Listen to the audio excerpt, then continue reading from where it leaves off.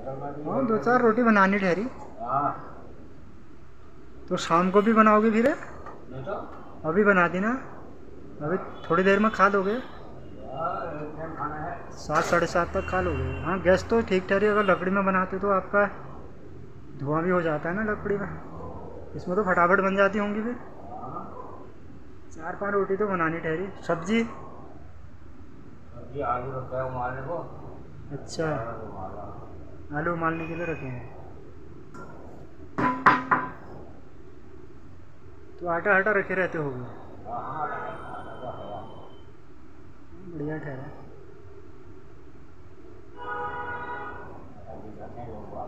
हाँ ठीक है ठहरा। आलू के गुटके बनाते हो अच्छा।